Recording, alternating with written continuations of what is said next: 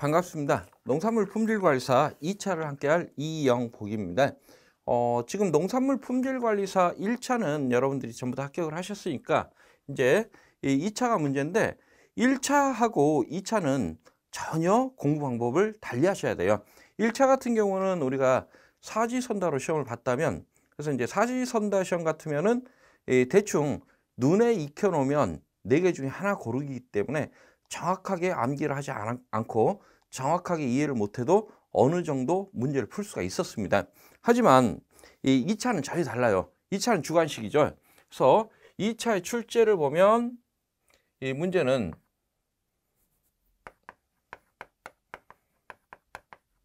단답형이 10문제 그리고 서술형이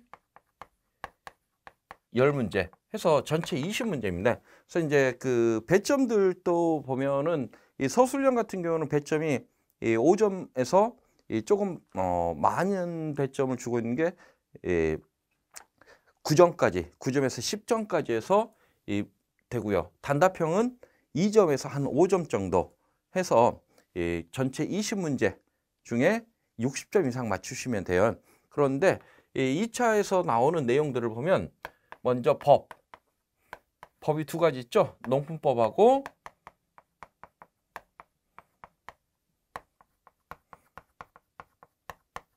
이 원산지법. 이 여러분들이 1차에서 농품법이라든가 이 원산지법 두 개 다 공부를 하셨습니다.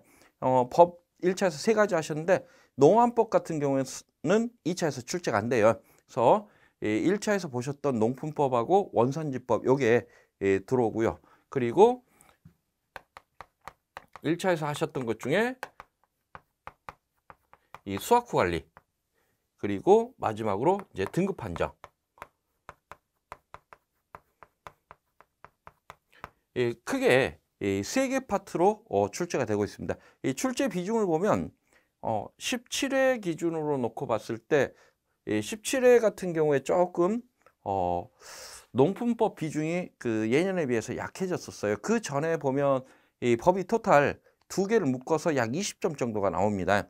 그래서 법 전체로 한 20점 정도 나오는데 이 17회를 놓고 봤을 때 농품법이 5점, 원산지법이 15점이었어요.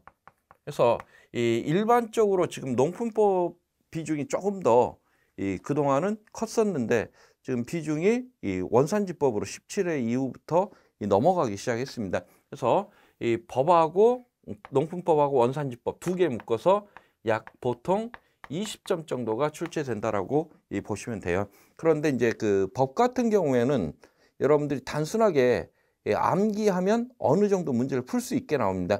그래서 이제 법 20점 중에 못해도 15점 정도는 법에서 득점을 하고 가셔야 돼요. 그리고 수학 후 관리. 얘가 약 40점. 보통 일반적으로 한 35점에서 이 40점 근처 최대 한 40점 정도 출제가 되, 고 있다. 그래서 이제 17회 기준으로 하면 약 한 38점 정도 출제가 됐거든요.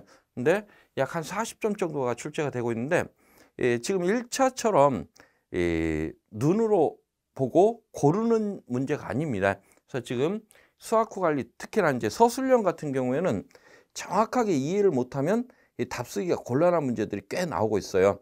그래서 이 암기보다는 조금 어, 이해 중심의 이, 공부를 하셔야 될 거고요. 등급 판정.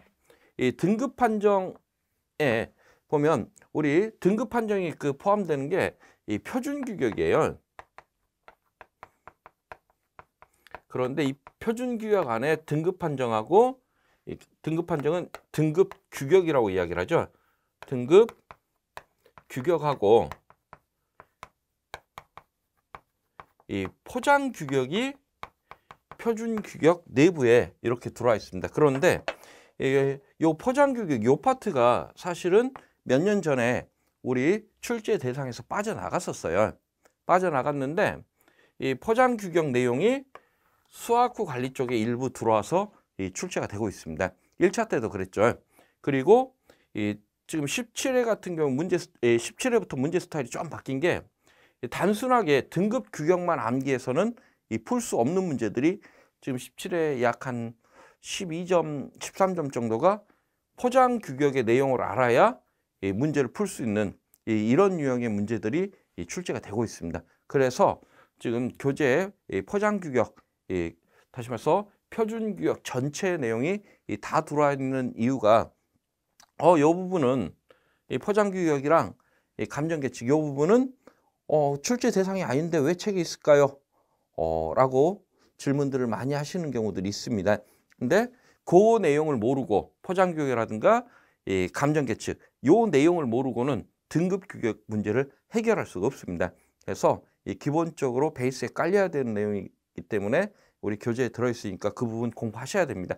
안 하고 넘어가신 분들이 이, 이런 문제들 때문에 많이 이, 다 등급 규격을 다 외우고도 떨어진 케이스들이 많았고요. 그리고 이제 이 등급 규격이 등급 판정이 약 40점 정도 이 출제가 돼요. 그래서 수학후 관리가 지금 40점 정도 출제되는데 이게 생각보다는 어 서술형이라든가 이런 쪽에서 생각보다는 이 머릿속에서 맴돌기는 하는데 막상 답을 쓰려면 펜이 안 나가는 이러한 경우들이 곧잘 있다 보니까 의외로 여기서 점수가 많이 안 나옵니다.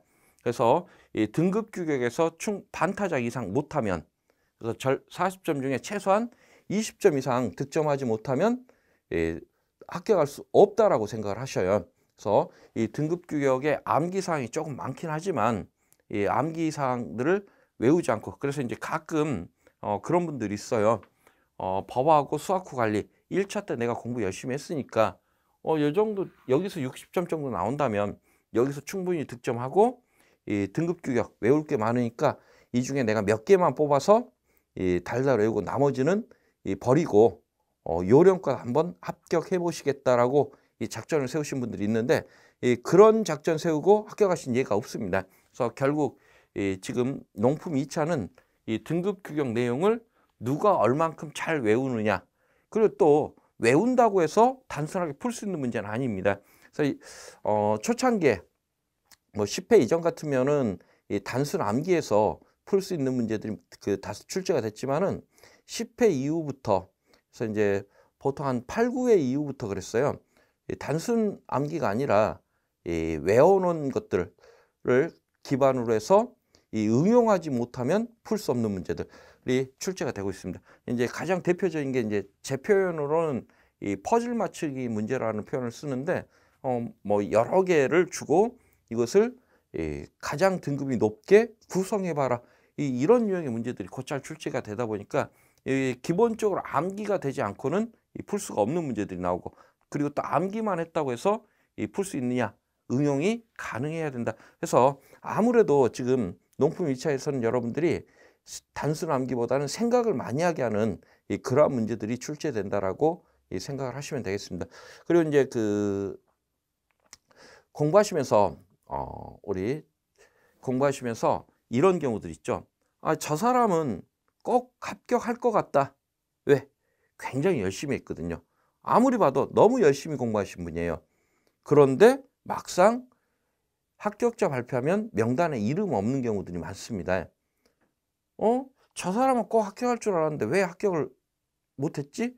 라는 어, 그런 생각을 하는 경우 어, 하게 되는 경우들이 많은데 예, 이유는 딱 둘 중에 하나입니다. 어, 이것만 여러분들이 공부하시면서 좀 주의를 하세요. 예, 첫 번째는 자료 많이 만들지 마십시오. 예, 특히나 어, 대부분 공부하신 분들이 어, 공부를 하다 보면 아무래도 마음이 불안하죠.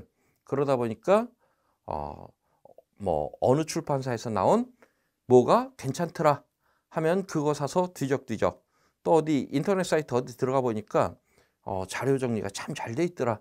그래서 그거 가져다가 뒤적뒤적 이렇게 그 공부를 하신 분들 보면 시험이 끝날 때 끝나고 나서 보면 보신 건 굉장히 많습니다. 뭐 자료가 한 요만큼씩 돼요. 그런데 결과적으로요 제대로 본 게 없습니다. 지금 우리 시험 어때요? 주관식 시험입니다. 주관식 시험 이, 직접 외워서 써야 되는 이런 시험이다 보니까 이 자료를 이 자료 저 자료 해서 많은 자료를 보신 분들은 암기가 안 돼요. 그래서 이, 일단 자료는 우리 교재 정도면 충분합니다. 그래서 이 자료는 한 가지 자료를 가지고 반복해서 암기하시 반복해서 보시는 게이 암기에 가장 도움이 된다라고 말씀을 드리고 싶어요. 특히나 이 인터넷에 떠도는 자료들 중에 어, 지금 우리 그 법부터 시작해서 수학후 관리를 제외하고 법이나 이 등급 판정 요 내용들은 개정된 매년 개정되는 부분들이 많습니다. 그런데 인터넷 돌아다니는 자료들 중에 이, 이게 언제 생성된 자- 자료인지 이 출처가 불분명한 경우들이 있어요. 뭐 한 5년, 10년 전 자료가 인터넷에 떠돌고 있습니다. 그런데 이제 5년, 10년 전 같으면 지금 교재 내용하고 우리 시험 내용하고는 많이 다른 부분들이 포함되어 있는 경우들이 있어요. 그런데 그런 자료를 잘못 예, 괜찮다 싶어서 잘못 공부하시다 보면 아니본만 못한 경우들이 나올 수가 있으니까 이 자료는 충분히 제공해 드릴게요. 자료는 충분히 제공해 드릴 테니까 이첫 번째 이 무분별한 자료 많이 만들지 말아라. 단이 여러 가지 유형의 문제를 봐야 되니까 이 예외적으로 문제는 아닙니다. 그래서 문제는 예, 혹시 오래된 문제라도 이 보시면서 우리 교재 내용하고 비교해서 이 문제 같은 경우도 어, 답은 다를 수 있어요. 하지만 문제 유형은 이 비슷할 수가 있으니까 이 문제 유형들은 여러 가지 유형들을 접해 보시는 게 도움이 될 겁니다. 그리고 두 번째는